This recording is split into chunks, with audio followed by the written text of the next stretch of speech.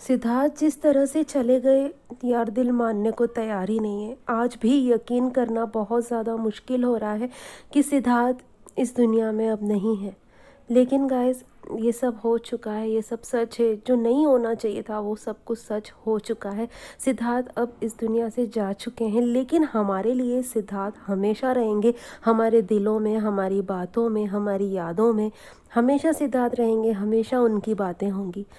लेकिन guys family members और शहनाज की चिंता भी सभी फैंस को बहुत ज़्यादा हो रही है। सभी फैंस ये सोच सोच कर बहुत ज़्यादा परेशान हो रहे हैं कि फैमिली और शहनाज अब कैसी हैं।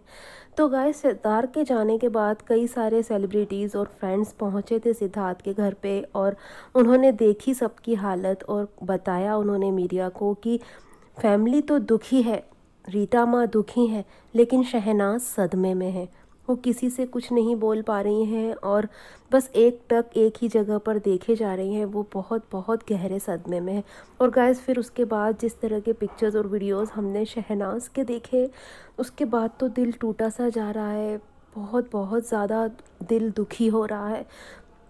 लेकिन गैस अब जो खबरें आ रही हैं सिद्धार्थ के घर से, वो यही है कि शहनाज अब कुछ संभल रही हैं।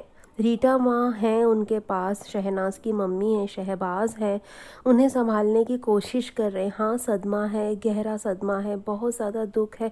अरे, हम फैंस की ये हालत है तो फैमिली की क्या हालत होगी? और शहनाज शहनाज की तो ज़िंदगी थे सिद्धार्थ। जान बसती थी शहनाज की सिद्धार्थ में।